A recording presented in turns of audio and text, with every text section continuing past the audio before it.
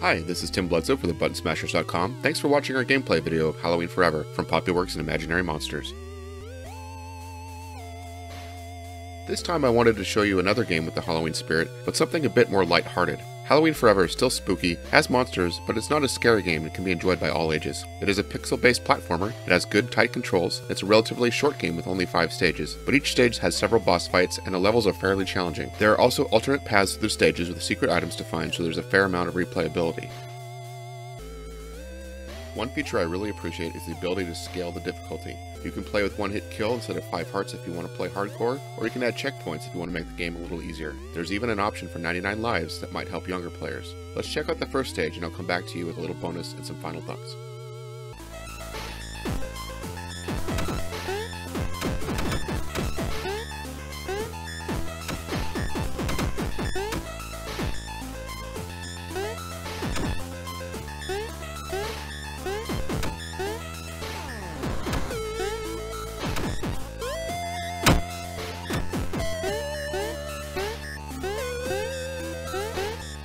Woo!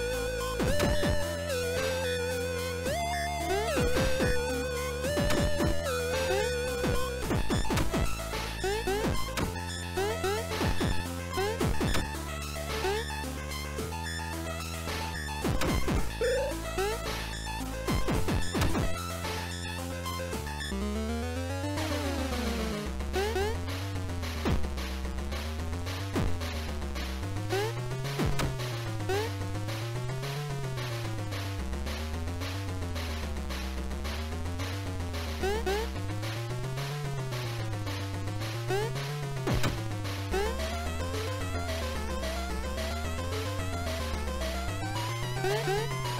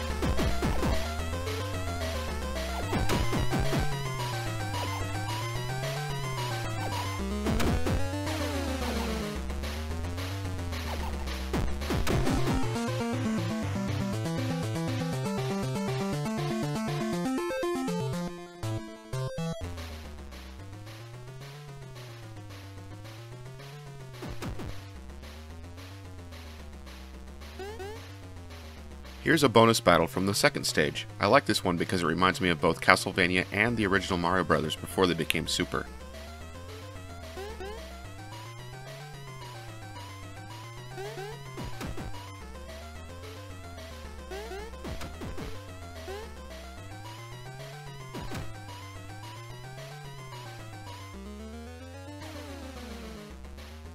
This game is like an old NES game in many ways, not only the graphics and sound, but the way you learn the stages. You might die on a trap or some hidden spikes the first time through. Trial and error will get you further every time you play, which is good because you start over at the first stage every time you run out of lives.